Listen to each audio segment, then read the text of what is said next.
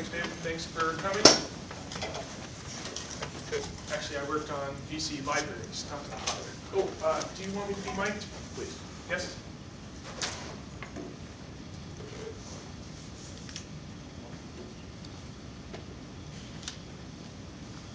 You stand right here. Test? How's that? Better? Higher? A little bit. How's that? Is that all right? Yeah? Okay, good. So, uh, like David said, I uh, worked at Microsoft. I did test, I did research, I did dev. So I know a little bit of, uh, of everything uh, except, uh, you know, marketing and program management and that sort of thing. Um, then I uh, quit Microsoft and started working uh, in open source and uh, worked with uh, Dave Abrahams and Boost Consulting. So does anybody here, everybody here know what Boost is? Anybody not know what Boost is? Anybody not know? You don't know? Don't know. Okay. Boost is, know. oh, you do know. Okay. For anyone who doesn't know, Boost is an open source repository of C++ code. You can go to boost.org and download code for all sorts of things, smart pointers and image manipulation libraries and uh, text manipulation libraries, and we're going to talk a little bit about those today. Um, so the purpose of the uh, talk is uh, text manipulation utilities that you will find in Boost, or anything you can do, I can do better. Reason why is uh, C++ has a terrible reputation uh, for text processing. Um, generally people turn to languages like uh, Perl and Python when they have to manipulate some text. Um, but we're going to show you uh, ways that you can do all that more in C++, hopefully. This is what we're going to cover today. Uh, we're going to become adept string manipulators in C++ using the Boost utilities. We're going to learn how to be manipulative, I guess. Um, First, we'll cover some really simple stuff. Um, lexical cast, string algorithm libraries, really basic uh, ad hoc sort of text manipulation tools that are handy in lots of different scenarios. And then we're going to talk about a little bit more interesting stuff. Uh, we're going to take a little uh, diversion, talk a bit about uh, imperative versus declarative programming, and we're going to talk about uh, domain-specific languages. Uh, so if strings and boost don't interest you, you might still get something out of this talk, uh, but probably not much. We'll talk about uh, regular expressions. We'll talk about a library called Spirit, which is a library for uh, building parsers, parser generators. And a little bit about uh, a library called Xpressive, which is uh, a little bit of, of both of those.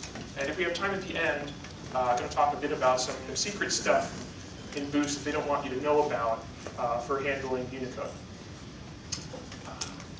And I will stop promptly at 8, even if I'm in mid-sentence, so you guys can get home. All right, the simple stuff. So, real simple stuff that you might want to do. This up here, convert a string into an integer. This is Python, by the way, very nice language. It's just that simple. Int of a string, you cast it, and it does the conversion for you. Makes sense. The other way is just as simple. C++, this is the legacy that we get from C. If you want to convert a string to an integer in C++, you have to call uh, a to i, which is uh, not exactly what I would have thought to look for if I didn't know to look for it. Um, it's a question for you uh, about the interface of A to I. What happens if the string can't be converted to an integer? Does anybody know? Return zero, yeah. It returns zero. Yeah. No error handling. What happens if you pass a string zero? What does it return? Zero.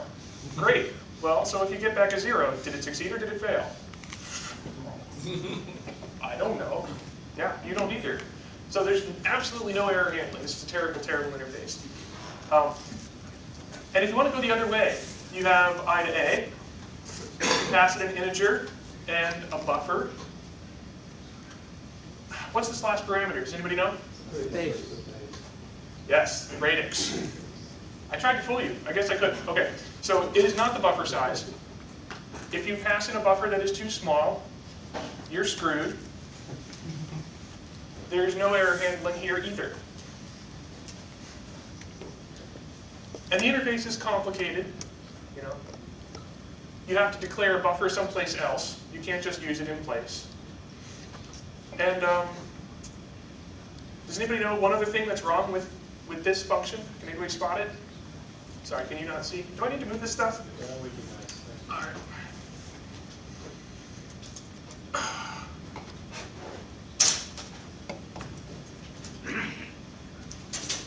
How's that? That's great. Anything else wrong? Buffer link management. Buffer length management, yeah, we mentioned that one already.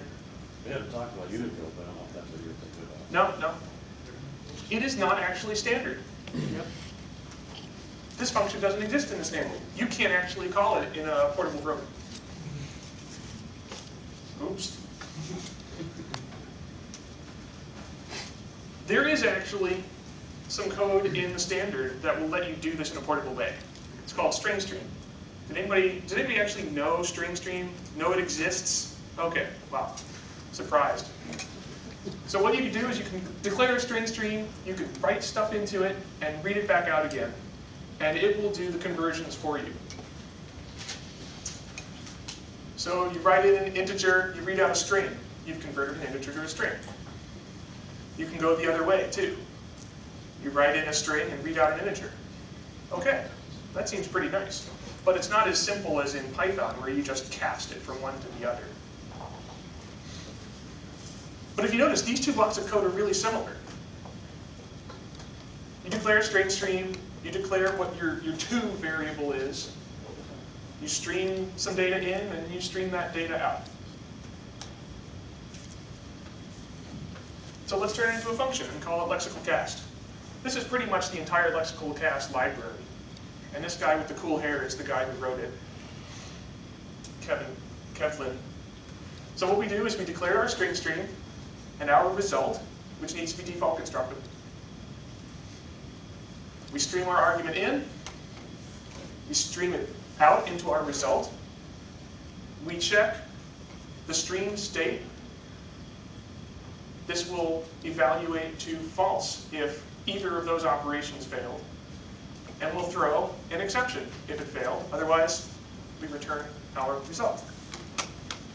So, we know whether it failed, which is actually kind of nice. You like to know when your operations fail. Here's how you use it. You just cast, you pass something in, you cast it to what you want it to be, and that's it, you're done. The other way works too. So here we have a, a clean interface. We actually have error reporting, which is nice, and it's extensible because all you have to do to make one of your types lexical castable is write a uh, OStream inserter and an extractor. It's not all uh, roses though. Uh, lexical cast is a terrible name. Um, the performance kind of sucks because you need to dynamically allocate a string for whatever, convert everything into a text representation, and then convert it into whatever, you know, you have this text intermediate. And also, uh, there's no internationalization. Right? So you can't say, I'm going to convert it to, this, I'm going to read this string in, and it's a German string, German integer, so it uses commas instead of periods. But on the whole, it's a whole lot better than I to A and A to I.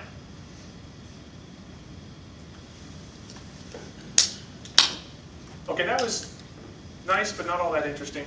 String algo is actually a really, really useful library. And most of what you would want to fire up uh, the Python or the Perl interpreter to do, you can get done with string algorithms. There are algorithms in here for uh, trimming spaces off of strings, uh, for doing case conversions, uh, finding and replacing strings and slicing and dicing them and that sort of thing. Um, it's a really big library. We're not going to talk about all that you can do, but we'll talk about some of them and some of the conventions. So here's an example of using string algorithms. Just include the string algorithm header up there. And now we declare a string, we initialize it, and now we have these string algorithms appropriately named to upper. And this will mutate the string in place. So it's really efficient. If you have a string, and you want to mutate it in place, to upper or trim, we'll chop the spaces off of it. And this one down here will create a new string. So something to know about the string algorithm library is there are some conventions here. Every algorithm comes in two variants, the regular and one that has a copy on the end there. So there's a to upper copy, which will not mutate in place, but create a copy and return it. Uh, people here familiar with the standard template library and the standard algorithms? No, they, they work on iterators, right? No iterators here. This is a range-based interface. You pass it a range of characters, it will either mutate that range in place, or it will return a new range from it. Range being a string, or perhaps a vector of characters, or what have you. The nice thing about it is that it lets you stack your algorithms like this. I'm going to call one algorithm, I'm going to use its return value immediately, and call another algorithm which, just, which mutates the string further. That means these algorithms are composable. You can express a lot in just a little line of code. Yeah, question? So there's an extra copy, or you've got two copy operations there. Is there any optimization out of that extra copy? No, no optimization. What you could have done instead, you could have, uh, you could have used the mutating algorithms instead, because to upper will return a reference to stir one. Yeah, yeah. Right. So you could have, you could have stacked your, your in-place mutation algorithms that way. Yeah, How, how does it work when you're concatenating a, a string? Like in the case of hello, goodbye, is, are there in place ones for that? for concatenation, Right. Like in that, re- in, in the case there, you're replacing hello with goodbye. It's obviously longer. Does the ah, algorithm- right. No, I don't think it does anything like that. No. Is there another question over there? Does this work just on ASCII? No, there are, uh, the question was, does it work on ASCII? Uh, no, it works on uh, wide characters also. Yeah. And does it, uh, I, like for different languages, like capitalization is very different? Localization, right, so that's a very good question. A lot of these algorithms uh, take an optional extra parameter, which is a stood locale, which it will use to do any uh, uh, locale sensitive uh, case comparisons or case conversions and that sort of thing. Uh, which uh, is another good point. This, this I here, what this means is case insensitive. A lot of algorithms have an I variant. There is a replace first and there's an I replace first. The I replace first ignores case.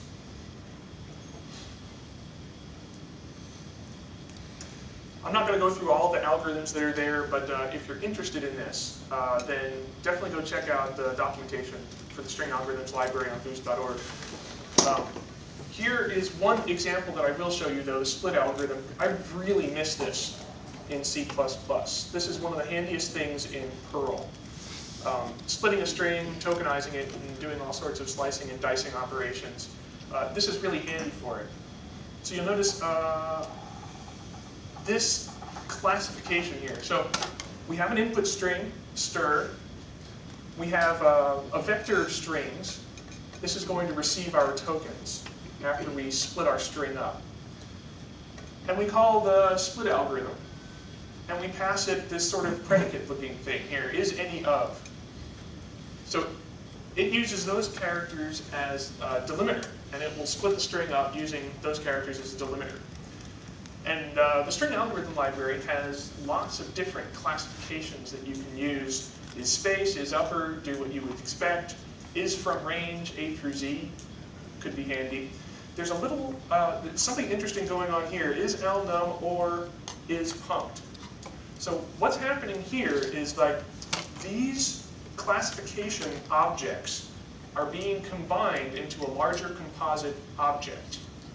This operator is overloaded. So what happens is, you know, if you were to take this and stick it in there, this expression is creating some large composite lambda object, which is your predicate. And that predicate will be used as your classification to find your delimiters. Yeah, question? Uh, how is split different than boost tokenizer? It's a lot easier to use. Uh, I'm not actually familiar with Boost, Boost Tokenizer, uh, except for the fact that a lot of people seem to complain about the complexity of using it. Um, I don't know, does anybody here actually have experience using Boost Tokenizer?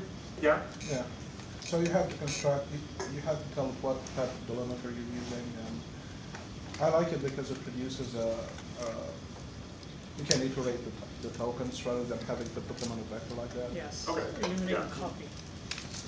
I, that's a good point. So uh, you might think that uh, this is needlessly expensive because you, uh, you split the string all at once and you have to allocate a bunch of small string objects.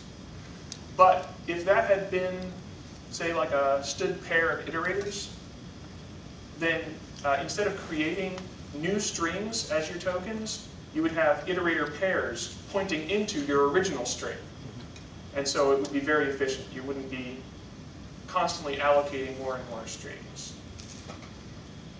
Not quite as efficient as what you were saying with the, uh, tokenizer library, maybe stepping through your, your tokens one at a time. Any other questions about this? No? Okay. So that's it for the real simple stuff. Um, there are other really simple libraries in Boost for, for doing text manipulation, like, uh, like format, and I encourage you guys to explore on your own, but we're not going to get to that one in this talk. So we're going to talk a little bit about structured text manipulation, and, and I'll, I'll say a few words beforehand about uh, some topics that are near and dear to my heart, um, domain-specific languages um, and declarative programming. Uh, this is a, a drum I really like to beat a lot, and I'm sorry if uh, some of you have heard me talk about it before. Um, I, I stole a few slides from an earlier presentation, sorry. So then we'll talk about uh, manipulating text dynamically, and we'll talk about generating parsers statically with Spirit, and say uh, just a few words about Xpressive, which uh, is like a hybrid, it does a little bit of both. So you remember from uh, your grammar, English grammar classes, there's an imperative sentence which expresses a command or request, such as set the television on fire. It's an instruction, a command. And there are declarative sentences which just uh, say something about the state of the world, which is like, the television is on fire.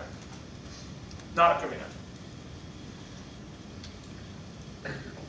And in CS 101, you probably learned about imperative programming and declarative programming. These are two different programming paradigms. Um, imperative means uh, you're going to tell the computer step by step what to do. First do this, then do that. Talking about how to mutate your program's state. Declarative programming is nothing like that at all. You talk about, you tell the computer what you want it to compute, and it figures out how to compute it. You don't tell it how. So there's no really no worrying about the program state in declarative programming. You're probably not as familiar with declarative programming as you are with imperative. C++ is mostly an imperative programming language. Actually, it's a, it's a multi-paradigm programming language. You can do declarative programming we'll see how. Here's an example. Find and print an email subject get some text, compare some magic numbers in here for like how much you want to compare, then another magic number, and forget about, you know, chop off any, you know, re's, you know, regarding, that's not interesting to your subject, right? Okay. And then output the subject line. This is imperative. Do this, then do that. Here's another way of doing the same thing. You declare a regular expression. Find, subject, optionally, you know, regarding, and then the rest of your subject. read a line in, match it, and then rip out the part that we were interested in, the part that was in parentheses. This is regex syntax, and we're going to talk a little bit about this later. Don't sweat the details now. Imperative and declarative. Two different ways of doing the same thing. Imperative describes the algorithm, declarative describes the goal. This is what I'm looking for. Just do it. Don't worry me with the details. This is kind of verbose, that's concise. That would be really hard to maintain and extend. That one would be easy to maintain and extend. Okay. So here's a question for you.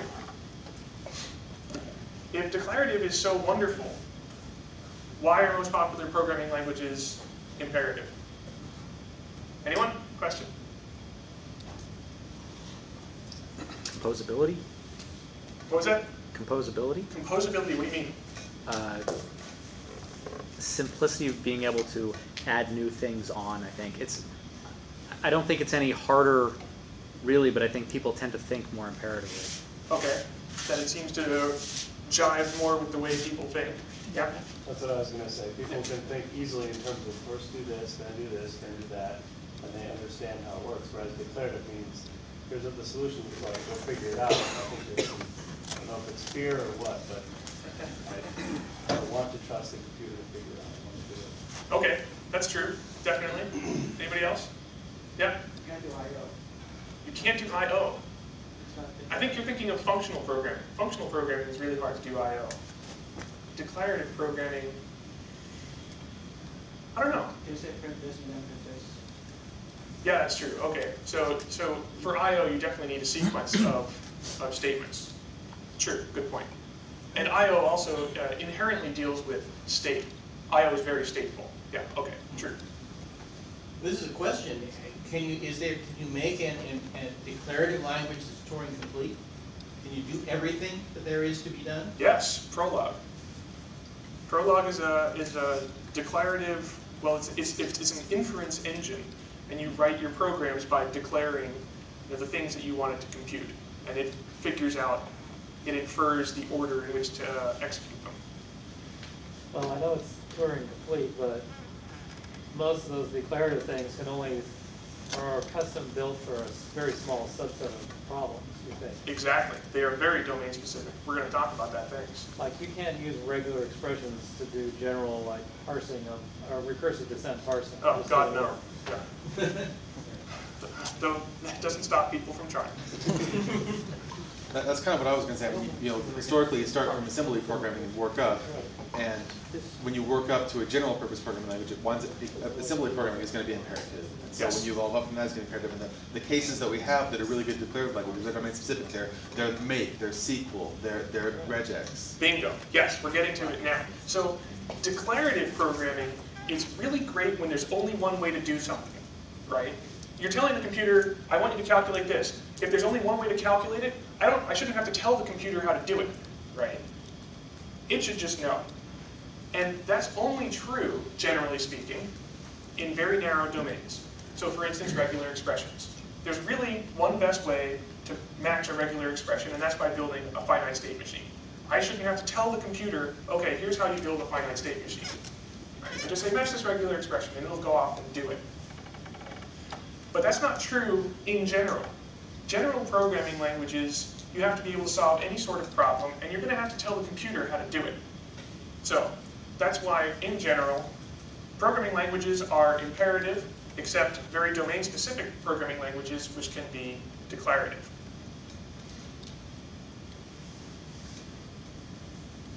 But we can have the best of both by embedding our domain-specific languages in our imperative languages. Think about Perl. Perl is an imperative programming language, but you can do regular expressions in Perl very easily. Some other examples, Ruby on Rails is very declarative. JUnit test fr uh, framework in Java also is declarative, but Java is imperative. And regex. So now we're going to talk a little bit about Boost regex. Yeah. General question about, about DSLs. I've often found in practice it's, it's difficult to distinguish between a, kind of a small domain-specific language and just a nice interface that I've designed that's sort of, you know, got a couple nice operator overloads or something. Is there, is there a line or is it just entirely fuzzy? It's entirely fuzzy, and it's up to you. I mean, if you choose to think of it as a nice interface, then that works. You could choose to think of it as a domain-specific language, and that works too. Like in the string algorithms example, you saw how we had those, um, those predicates that we could combine with uh, that, that overloaded uh, OR operator. You can think of that as a really simple, very simple, domain-specific language for creating predicates, composite predicates. It's also a really nice interface. So that, that's John Maddock, he wrote it.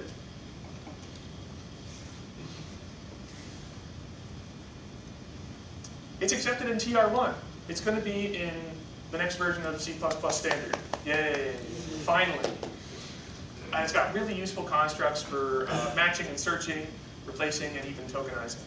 So we're going to learn all sorts of different ways to tokenize strings. It's an example of what I would call a dynamic domain-specific embedded language in, in C++. By dynamic, I mean that you can specify new statements at runtime. If I made a text editor that accepted regular expressions from the user, that's okay. I could use Boost regex for that, because it will process these regular expression strings and interpret them at runtime. The nice thing about that is that uh, your domain-specific language has uh, free-form syntax. Anything that you can put in quotes can be a domain-specific language.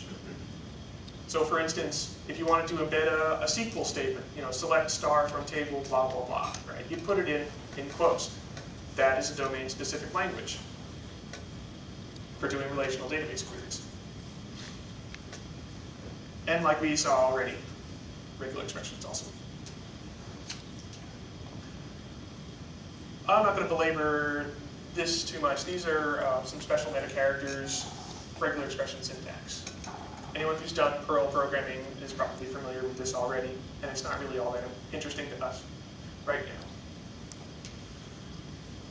The algorithms uh, that come with uh, Boost regex. Um, first and most important is uh, regex match. That will take a precompiled regular expression and check to see whether it matches a string. And the whole string has to match. So for instance, we can write a regular expression that matches a social security number and ask someone to enter their social security number, maybe on some phishing website that we've designed. uh, and check to see whether they've, uh, they've entered their social security number correctly, because you really want the correct social security number when you're designing a phishing website. And you'll tell them, okay, uh, that wasn't a, a valid regex, uh, a valid social security number, enter it again. Regex search is like regex match, except the whole string doesn't have to match. Right? The regex doesn't have to consume the entire input string. It'll scan through the string and find matches. So for instance, uh, if you were a spammer and you wanted to uh, you know, scrape uh, email addresses off the web, you wanted to harvest the email addresses, you might like, uh, you might write a regex like this, matches, you know, A, href equals mail to, aha, this is the good stuff, right? Email address I want to spam. And then you search an HTML page and find instances of it. And then, you know, write out all the email addresses that you've harvested.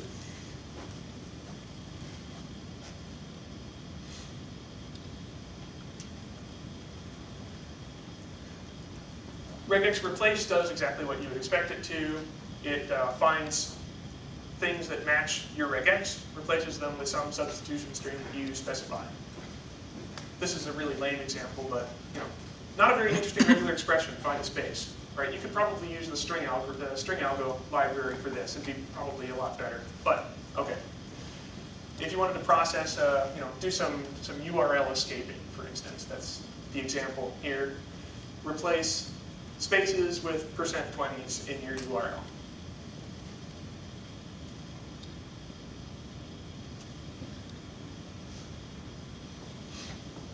Regex iterator, as I mentioned, uh, regex search will scan your input until it finds a match. Regex iterator is, what if I want to step through all of the matches in a string, one at a time? So you declare a regex iterator, and you pass it the begin and end iterators of the, uh, the HTML page that you want to search, and your regular expression. And then you just step through them. You know, this is, this is an iterator. You increment the iterator, and it finds the next instance that matches the regex. It will scan for you. Right? So this loop will iterate over all of the found email addresses on your HTML page.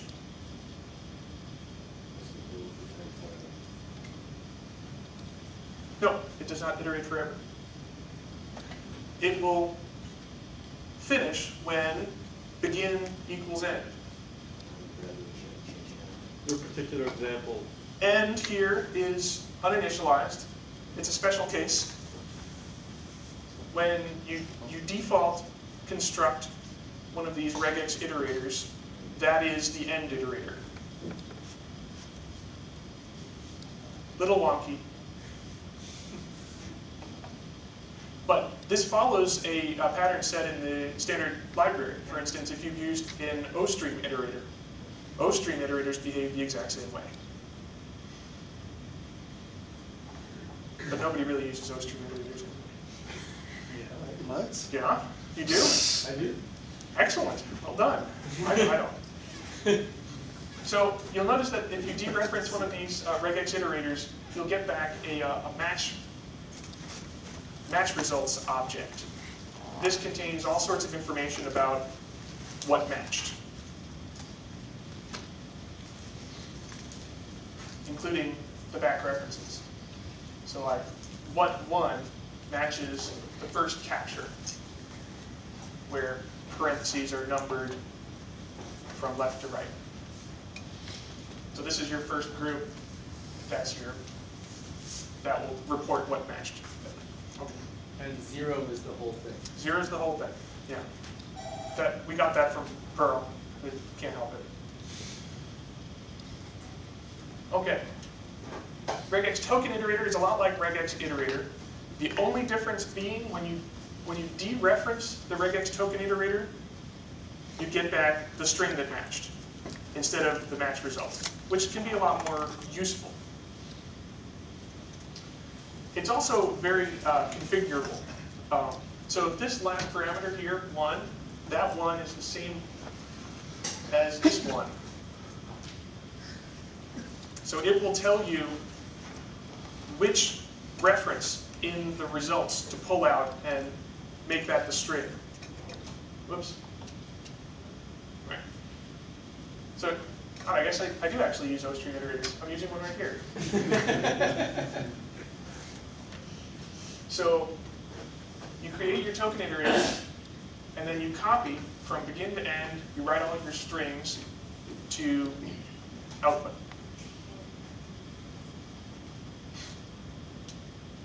Or if you like using the Boost Lambda library, which I'm not going to talk about, you could just say, use a Lambda expression. This looks really magical if you've never seen Lambda, and I'm not going to bother explaining it.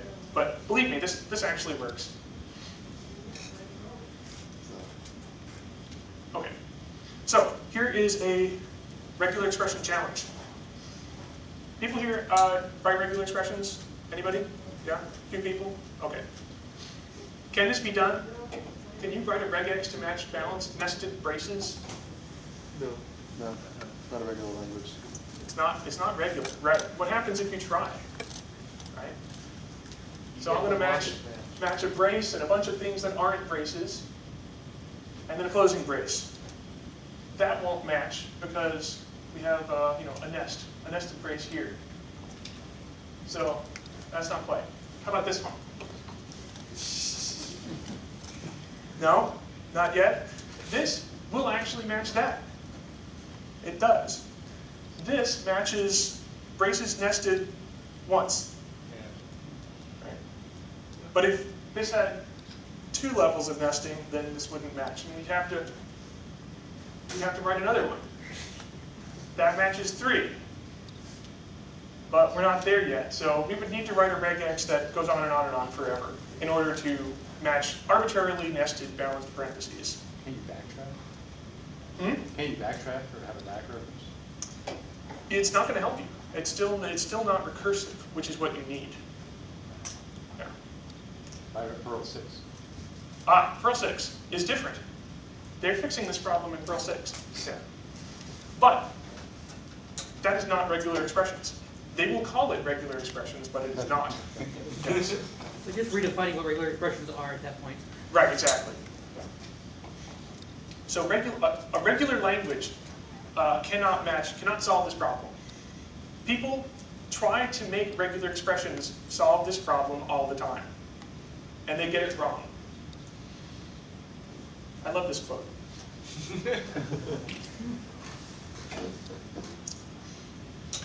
You need the right tool for the job, and for a lot of jobs, regular expressions just are not it. That brings us to Spirit. Spirit is the tool that you would want to use to find matched, matching balanced nested parentheses? Because you can use Spirit to write a grammar that is recursive, which is the tool that you need to do this. That's Joel de Guzman. He is the author of Spirit. So it's a, it's a parser generator, uh, like, a lot like uh, Lex and Yacc, or Flex and Bison, if you're familiar with those guys. Like pairs, both levels, parser and lexer? Yeah. Flex and Bison is Lex and Yacc. Flex and Bison, I think, are the, the GNU. Yeah, but my question is that Spirit covers Ah. both of those levels. Spirit is both of those levels, yeah. It's actually uh, uh, Lexer and uh, parser generator all in one. And we talked about domain-specific uh, languages before. This is another one, but it's a totally different take on embedding a domain-specific language in C++. So regex is, your domain-specific language was in quotes. It was a string, it was dynamic, you could specify it at runtime. In Spirit, it's not, it's an expression template. You build up an expression using operator overloads, and at compile time, that gets transformed into a parser generator that generates machine code and is immediately executable. There's no interpreter there at all. I'll show you what I mean, because it's probably a little confusing if you've never seen it before.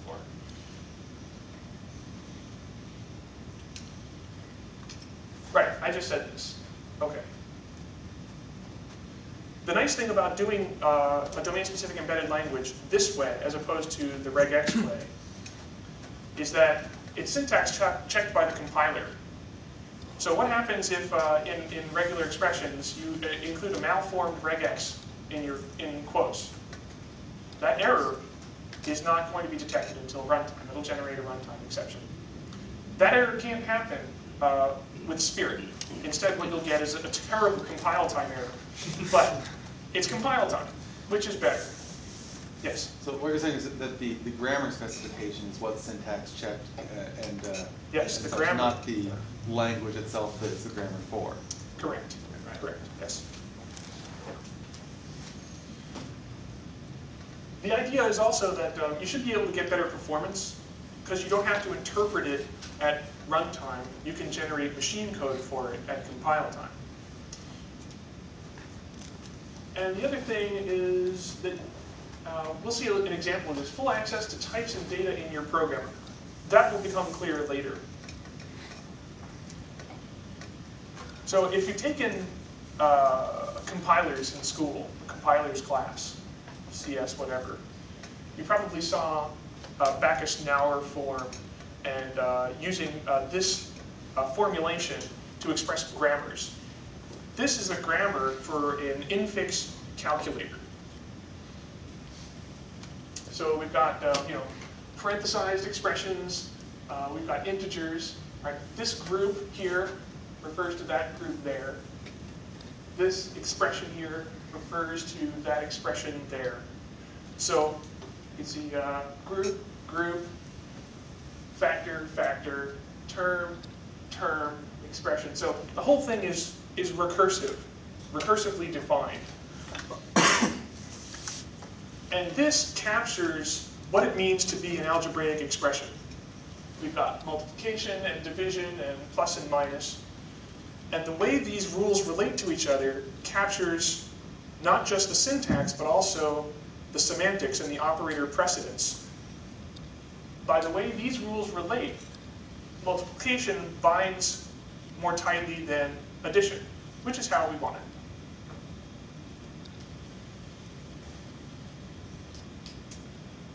This is how we would do it in Spirit.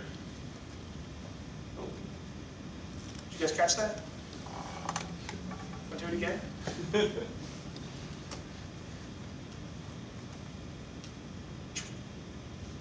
This is executable C++ code, and it means exactly what you would think it means. This is the grammar, a spirit, an executable C++ grammar that matches algebraic expressions. So what happened? This guy in EBNF means uh, zero or more. C++ doesn't have a postfix star operator, but it's got a prefix star operator. All right, so we use that instead. You can't just put a, uh, a character next to, you know, a variable. You need some operator there. So Spirit uses this sequencing operator. Just because something has to be there. This guy doesn't change at all. And really, that's that's pretty much it. You know, and then our we use assignment here instead of uh, this wonky EBNF form because that's not a valid C++ operator. So this is an example of a static domain-specific embedded language in C++. This is what I mean. We have told the compiler, we fixed this at compile time, like this is what it means to match an algebraic expression.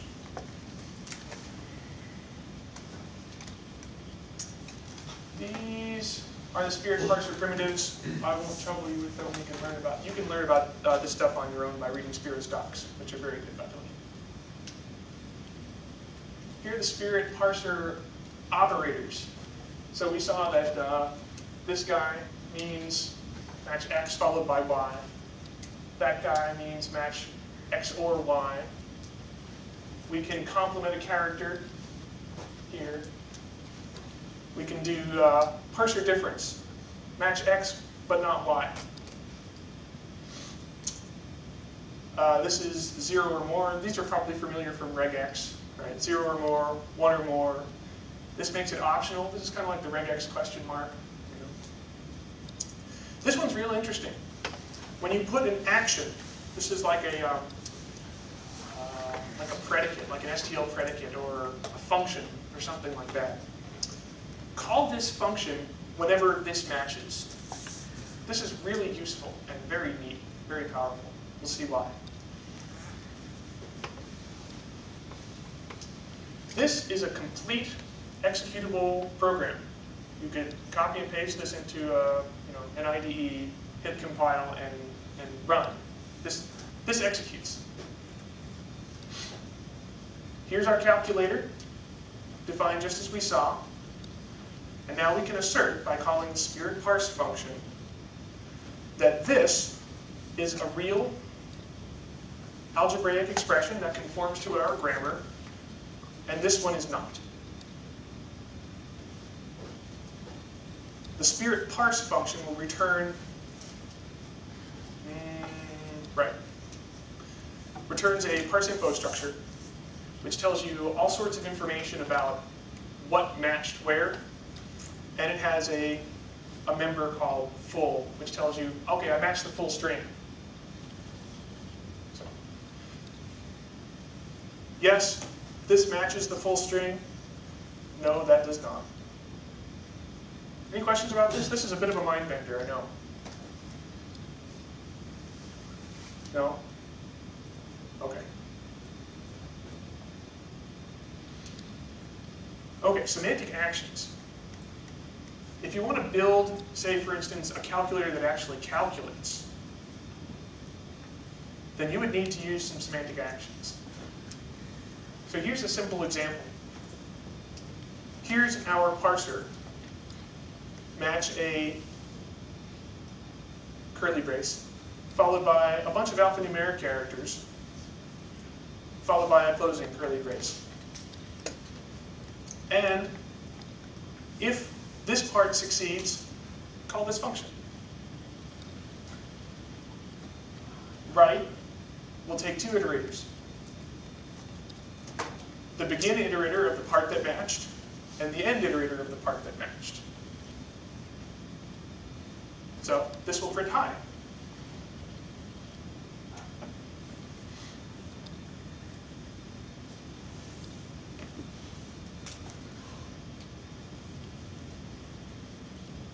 Some of the parsers that Spirit provides, like int_p, will do a little bit of extra processing for you.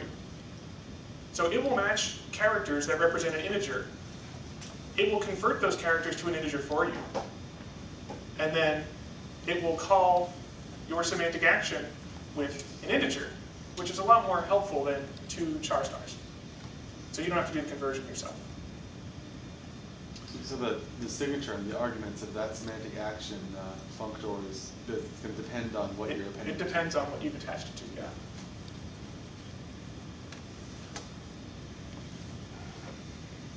Parsers are saying to have return values. Uh, the return value of a parser is what will be passed to the action you attach to it. So in this case, int_p is documented to return an integer. You could use the lambda library for this as well. Right. Now I don't have to write a separate function. I could just say, you know, write the argument to cout. Magic, again, I'm not going to get into it.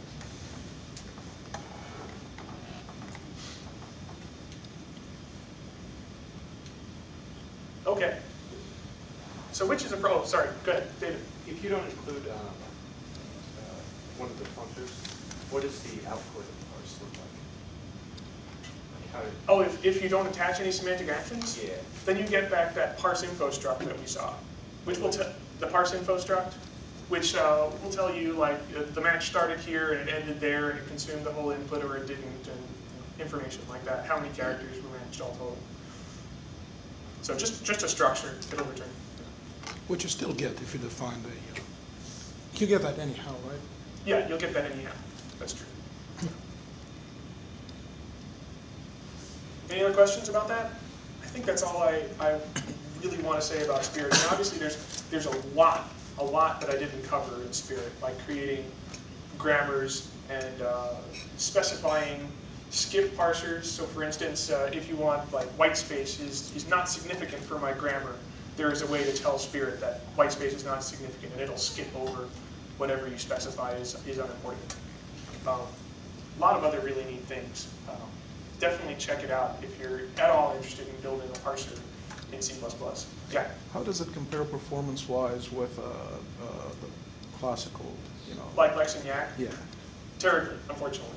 Um, yeah, uh, Spirit, um, unfortunately, was not designed with performance in mind.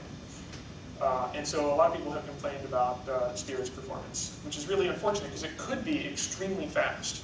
Um, and actually, uh, Joel and I are working on Spirit 2, and the entire purpose of the rewrite is to fix the performance problems. Will the, will the interface be the same and just fix the, fix the implementation, or? The interface will be a- very similar.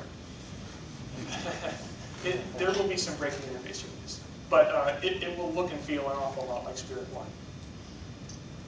I guess how do you plan to fix the speed problems, and what's, what's your approach? Um, the, uh, what's the approach, this is the question, to fixing the speed problems? Uh, a lot of the, um, the Spirit does an awful lot for you, more than you ask it to, in a lot of cases. Uh, so, I mean, you'd like to be able to have the features there, but only pay for them when you use them, which is not actually how Spirit was designed. Unfortunately, there is a lot that you pay for even if you don't use it.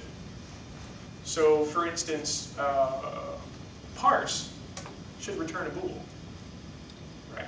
All the parse functions recursively that, that Spirit makes, you know, all the calls that it makes to itself right? All those functions should just return a simple bool, yes, it matched, no, it didn't. Instead, it, it returns this structure, it's like, it matched from here to here, it matched this many characters, and it has to compute that all along as it goes, and it's just a very uh, inefficient way of, of doing it. So we're out with all of that, that GAC, I'm gonna implement it uh, very uh, lean and mean, and uh, such that you have to ask when you need more information. How's the timeline look on that project? We're hoping to have Spirit 2 done by May. And, and there's a reason why, and I'll, I'll get to that, what's happening in May. Surprise. Any other questions? Is there an easy way to export this uh, from C to, um, yeah? Oh, is there like a, is there a conversion from, from Spirit to Yacc? No, no, not, not really. And, and, and going the other way uh, is a little tricky as well. Like if you have a, a Yacc grammar and you want to import it into Spirit, um, that's actually a tricky thing to do. Um, having to do with something called left recursion, which uh, is it's it's more than I really want to get into at the moment. But a lot of times you will need to rewrite your your grammar in order to get Spirit to accept it. The docs will, will tell you all about the left recursion problem and hoops that you have to jump through if your grammar has left recursion. Yeah. Is it another one parser or only an R? Uh, that- It's recursive descent, right? it is, it's recursive descent, yeah. But Um, it, it doesn't do pattern matching like that. No, it does not. Yeah. That's actually a good question, though, I don't really know. Any other questions? I'm pretty sure it's LALR one, Look ahead one, yeah? because it just looks ahead one and Yeah. then, you know, because that's the way it, it composes the parsing. I think there are extensions to Spirit where you can look ahead more than just one, but uh, it doesn't do that by default. You have to use like some special construct. Anyway, so some differences between regex and Spirit. If you're if you want to choose one tool over the other, uh, you can use um, both for ad hoc pattern matching, um, but only Spirit will match uh, recursive context-free grammars. They can both be used for manipulating text, uh, but only Spirit will let you manipulate your program state by attaching semantic actions that, uh, you know, that do stuff to your program. Only regex will accept new statements at runtime. The nature of Spirit's domain-specific embedded language means that you compile it, and then that's it, you're done. You don't get to specify a new grammar at runtime. Um, exhaustive backtracking semantics, um, regular expressions have this neat property where they will keep trying to match a pattern. And it'll try every possible way. You know, this, uh, these quantifiers match it five times, and if that doesn't work, then try matching it only four times and try again. And it'll try that until it's exhausted every possibility. Spirit doesn't do anything like that. If you say, you know, match a character zero or more times, it will match every character in your input and then say, ah, it didn't work out, I give up, and then fail. So, sometimes you want one, sometimes you want the other. It's helpful to know that Spirit does not do exhaustive backtracking like a regular expression engine does.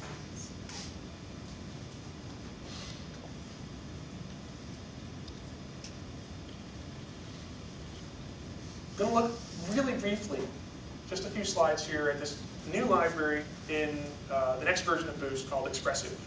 Um, and, and no picture of the author here because you're looking at him, I wrote it. Um, it is both a static domain-specific embedded language and a dynamic one, so it's both. And it's a regular expression engine, but it can also be used to match uh, recursive regular expressions. So for instance, you would be able to match balanced nested braces. So technically not a regular expression engine, but I call it that anyway. So here's an example. I can compile this string into a regular expression.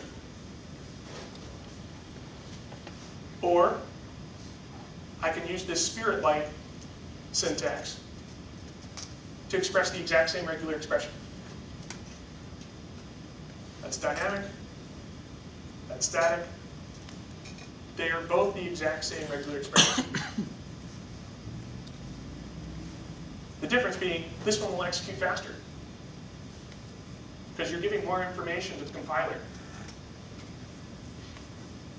So the idea is you want to be able to write your regular expressions statically when you can, and dynamically when you need to accept them at runtime from the user, or from config files, that sort of thing.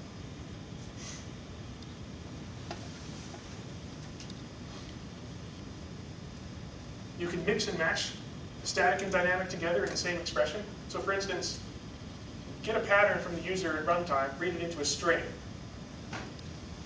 Compile that string as a regular expression, assign it into this variable pattern. And now I'm going to use pattern to create a new regular expression by embedding it, wrapping it with like begin word, end word assertions. This might be useful, for instance, if you were writing a text editor with a regex find feature. You had like a little checkbox that says, you know, whole word only, right? You'd use that. This is how you might implement it using Xpressive. So you take user input, parse it as a regular expression, and then it wrap it in begin word, and end word assertions. And this guy will get invoked recursively. Not recursively, sorry. That's right, you're assigning it back into pat, so this does not create a cycle, but it will execute the way you think it does. If you want to create a cycle, there is there's a byref function. So here is how you would solve the braces problem that we saw earlier using Xpressive. Say, you know, this not brace is, you know, create a set that has the two brace characters and complement it. This matches any one character that isn't a brace. And now, match stuff that isn't braces or, recursively, a balanced set of braces. Kind of have to look at it sideways to see. Yeah, okay.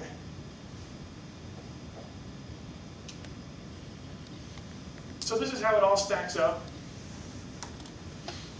Xpressive, the new column here, gives you an awful lot of what you might want to use both regex and spirit for. It kind of straddles them both. Uh, with the exception being, um, Xpressive doesn't have semantic actions yet. And a new row here for in TR1, like you can expect it to be in the standard. Yes, regex, no spirit, no Xpressive. So that's all I got for Xpressive. Is there any questions about that? We have a little bit of extra time, so I am, ooh, it's eight o'clock. Ah, so I can either talk about the super secret stuff that's in uh, Boost for handling Unicode, it's only a couple slides, or we can stop now. Super secret. Super secret stuff? Okay. Why isn't there a Boost Unicode library? I wish there was one. Nobody stepped up to write it. Any volunteers? Please. There is a UTF-8 conversion facet buried in a detailed directory in Boost. It's been in the past couple of uh, Boost releases. You can use it, it's there, but uh, don't expect any support if it goes wrong. I'll show you uh, where it is and how to, how to get at it. Here, for instance, is a complete program that uses uh, the Boost UTF-8 facet to read a UTF-8 file and convert it into WCHAR, UCS4, whatever, UTF-32. We have to define a bunch of ugly preprocessor macros first. And then we include this stuff from detail, Boost detail directory. We even have to include a CPP file from the libs directory. Really, really, uh, don't try this at home. Um,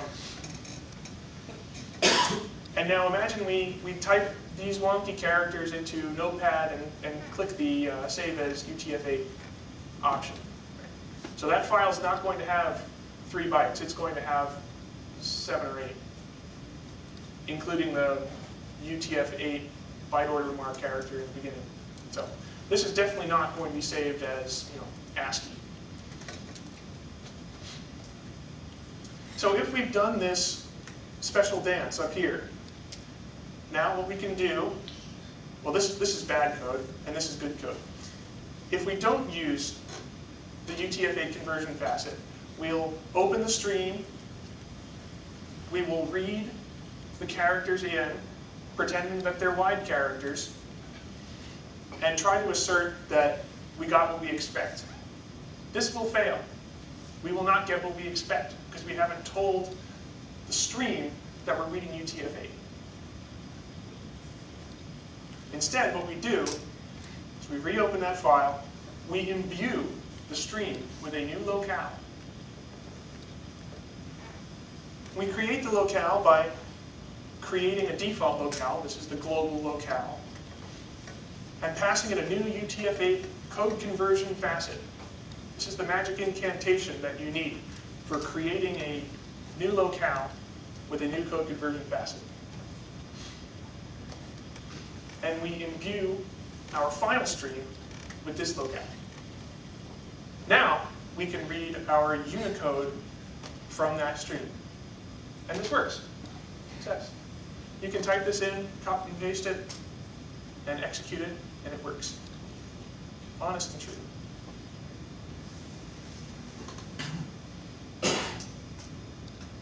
But like I said, that is really, really dirty. That's, that's the best that Boost has to offer for, for Unicode support, I'm sorry to say. So, I made some allusion to what's happening in May. May is the Boost conference, very first one. Very exciting. I think I got the URL right, but the Wi-Fi was down in the cafe I was sitting in this morning, so I couldn't check it. Um, boostcon.org. Check it out. Uh, it's going to be in May. It's going to be in Aspen. So you want to get your uh, company to send you there. Uh, and I, I hope to see you guys there. And uh, we hope to be debuting uh, Spirit 2 at the Boost Conference. Any uh, any news on when the next boost is coming out? Xpressive is still. I mean, you can you know you can enlist in the in the sandbox, but uh, it's been well over a year since. Uh, Yeah, uh, Xpressive got accepted into Boost uh, over a year ago, and we haven't had a new release. yeah, there's been no new release. Yeah. Um, Gills in. There's there's been quite a few interesting libraries. Yeah, much. added. Uh, my other library, for each, is uh, is in the same state. I wrote that code like five years ago. yeah. But um, yeah, uh, we're working on it. Um, we're getting asymptotically closer. You know, asymptote never actually. Never mind. Oh, we, we we actually have a hard cutoff of, I think, March 7th, at which point any bugs that haven't been fixed will be marked as um, bug fixed. And then we're going to have a release candidate and just ship it. Yeah. That's the plan. Uh, I recently read a book, uh, the C++ Standard Library Extensions. It's all about TR1, about some subsets of TR1, and and spe- specifically, and I've forgotten the author, I'm sorry, uh, that I, I found useful, but looked like it was kind of rushed out. It was, it was, there were bugs in it, in the book. I'm not familiar with the book that you're uh, referring to. It's it's not the, uh, the book about Boost, is it? No, not about Boost, that's oh, a different one. Yes. It's the one about TR1. Huh. What's in TR1 and what isn't. And uh, it, there's a, a, a long section in it about the regex uh, library in TR1. Really? I found it interesting, but not ready for prime time as a book. Wow. No, I, I don't know the book you're talking about. I've, I've got the book too, I'm trying to think of who wrote it. Somebody, somebody whose name I recognize. an old- like C++ feedbacker? Yeah, yeah, he, he writes a lot in the, in the mags. Can't think of the name. Is that right, Pete Becker? Becker, Could- yeah. yeah, yeah, I think so. Becker. Ah, for I think so. Dinkumware, right? Yeah, Dinkum, that's what I was You say. used to work for Dinkumware, he was on the zoning. I, I don't, I don't think it's a Dinkum book. No, No, no, no, former, he former he writes, Dinkum for- guy. write- wrote for Users Journal, and I Yeah. thought he worked for Dinkumware for a while, but Yeah. I think that's the one. That's interesting. Anyway, it's real interesting, but I hope he keeps working on it and gets it right next time. Yeah.